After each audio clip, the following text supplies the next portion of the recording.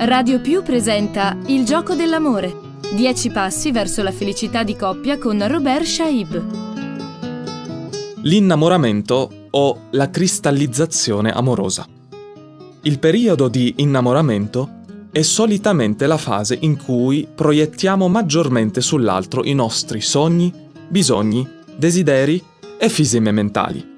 Stendhal ha descritto quello che succede nell'amore in un modo stupendo e psicologicamente profondo. Tiriamo fuori qualche tratto essenziale della sua teoria. Per lui, la cristallizzazione è un fenomeno che non cessa quasi mai in amore. Ma cos'è la cristallizzazione amorosa? La via più immediata per spiegarla è la seguente analogia. Scrive Stendhal alle miniere di sale di Salisburgo si getta, nelle profondità abbandonate della miniera, un rametto d'albero spoglio a causa dell'inverno. Due o tre mesi dopo lo si ritrae, coperto di cristallizzazioni brillanti. I rami più piccoli, quelli che non sono più grossi della zampina di una gallina, sono guarniti di una infinità di diamanti, mobili e abbaglianti. È impossibile riconoscere il rametto primitivo. Così avviene nel cuore colpito dalle frecce di Cupido. Tutto comincia con l'ammirazione, questa poi attiva la fervida immaginazione. Continua infatti Stendhal, lasciate lavorare la testa di un amante per 24 ore e comincia l'opera di cristallizzazione.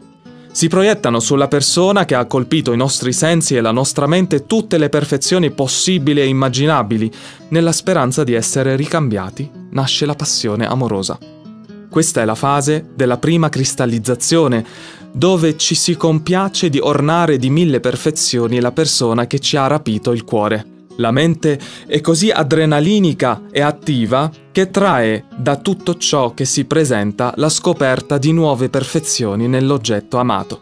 I dubbi poi sulla realtà dell'amore e sulla persona amata accelerano e lasciano il posto alla seconda cristallizzazione, che produce una certezza solida come diamanti riguardo alla bellezza dell'amore ricambiato. Due delle idee fondamentali che vagano nella mente dell'amante giorno e notte e lo rendono invaghito della persona amata sono la persona amata possiede tutte le perfezioni, la persona amata mi ama. Come si nota, l'immaginazione soggettiva supera e quasi trascura la realtà dell'altro. La cristallizzazione è caratterizzata dal solipsismo, l'altro è una specie di pretesto. Roland Barthes la mette così. Io desidero il mio desiderio e l'essere amato non è altro che il suo accessorio. La cristallizzazione non è da demonizzare, è una fase necessaria. L'innamoramento è una grande forza che risveglia la passione e fa superare l'indecisione. D'altronde, come puntualizza Hegel, nel mondo nulla di grande è stato fatto senza passione.